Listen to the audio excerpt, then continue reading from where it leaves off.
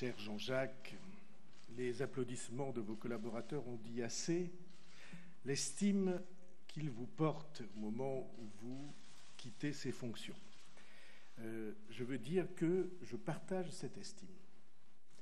Euh, pour vous, pour votre action, euh, pour ce que vous avez entraîné et pour les combats qui ont été les vôtres, en particulier les combats pour les moyens de la justice. Euh, je voudrais vous dire que j'entre dans cette fonction.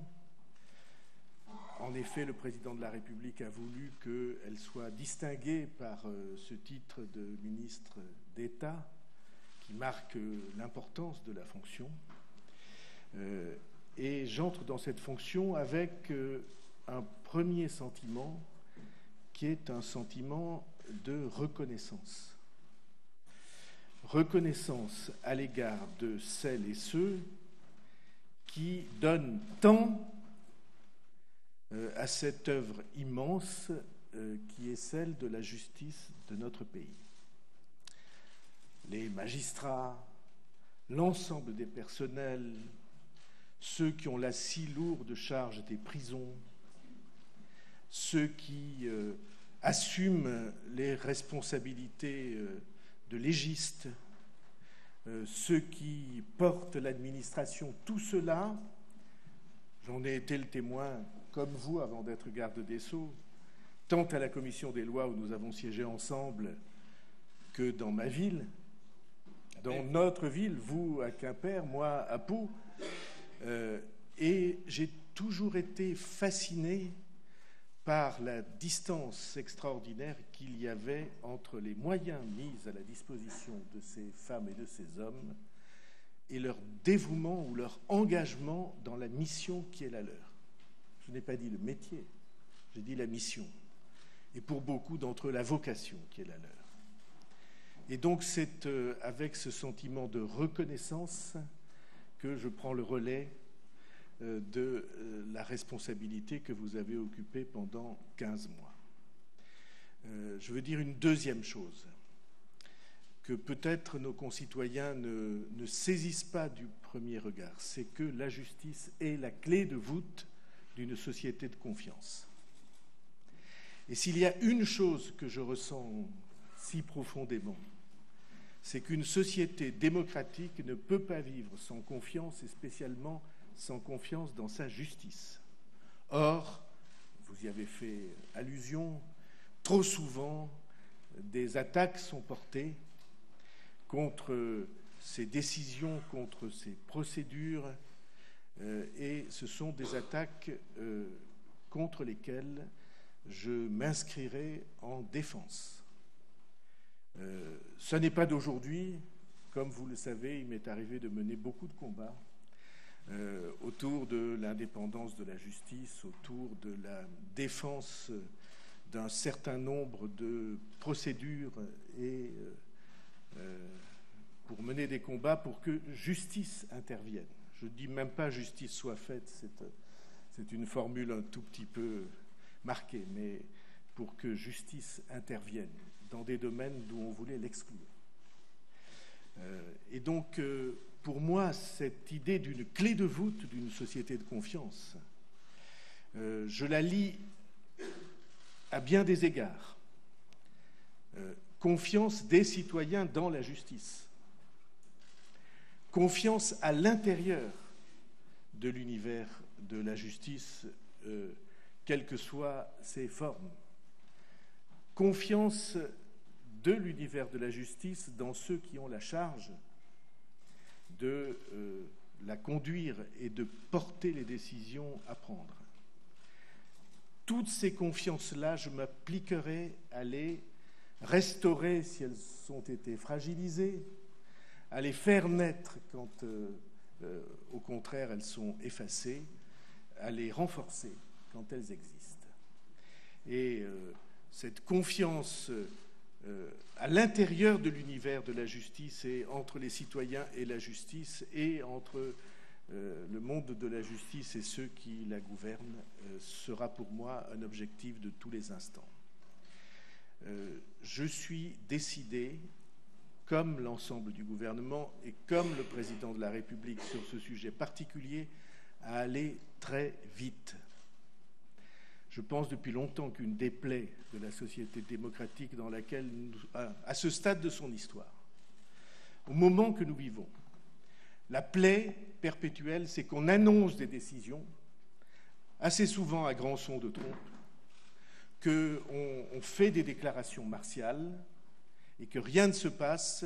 Vous revenez six mois après, neuf mois après, deux ans après, rien n'a changé. Euh, alors, je comprends très bien les raisons, je les ai très souvent analysées dans beaucoup de livres. Je suis décidé à faire en sorte que l'action suive la parole, que les décisions soient prises et appliquées. Et je parle de ces décisions prises et appliquées dans tous les sens que cette phrase peut prendre, y compris naturellement les décisions judiciaires. Mais que les choses changent là où elles doivent changer et vite. Et en particulier, je prends l'engagement que la loi sur la moralisation de la vie politique euh, va être sur la table du Conseil des ministres avant les élections législatives. C'est l'engagement que nous avons pris. Tout le monde sait ici que c'est une loi qui me tient particulièrement à cœur.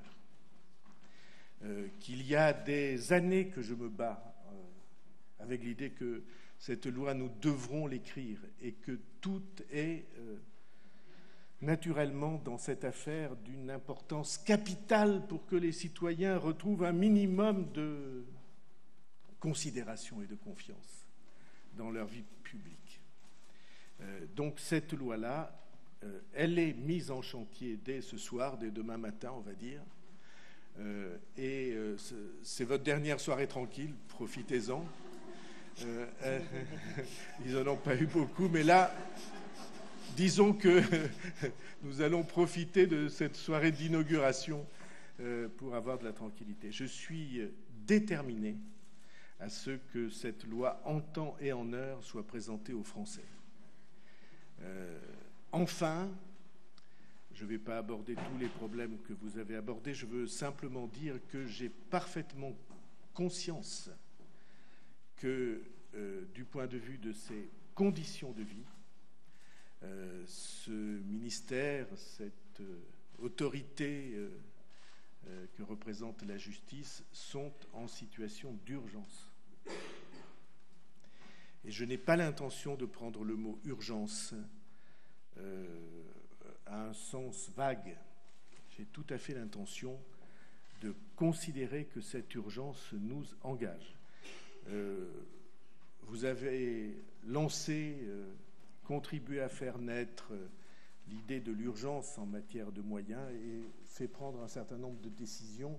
Il faut rendre hommage à votre pugnacité de ce point de vue-là. Mais je veux simplement dire que, pour moi, la loi de programmation qui a été promise par le président de la République est une ardente obligation.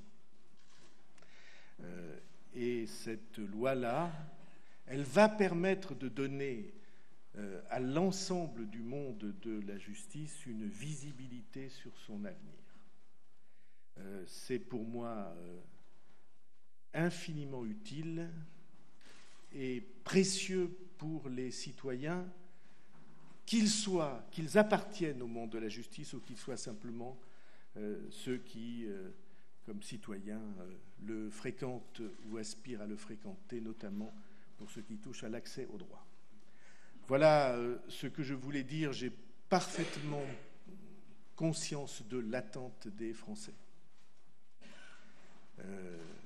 attente des Français en matière de protection, attente des Français en matière de jugements équitables, attente des Français en matière de rapidité des jugements. Nous sommes, Jean-Jacques Urvoas l'a souvent rappelé, nous sommes euh, ou devrions être au banc des pays qui forment la communauté des pays démocratiques et notamment au banc de l'Union européenne, ne serait-ce qu'en raison de la lenteur de nos décisions et de l'état de nos prisons. Fait au moins deux chapitres sur lesquels je ferai tout ce qui sera en mon pouvoir pour que les choses changent.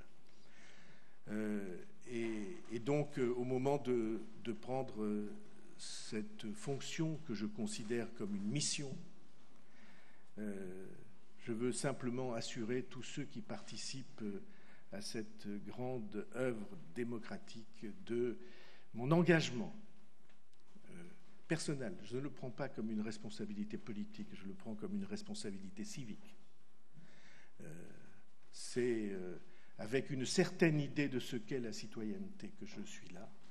J'ai tout à fait l'intention de me battre en ce sens. J'ai été heureux que Jean-Jacques Urvoas accepte avec des mots extrêmement sympathiques et, et sentis euh, de m'introduire dans cette fonction que je vais être ravi de conduire avec vous. Merci à tous.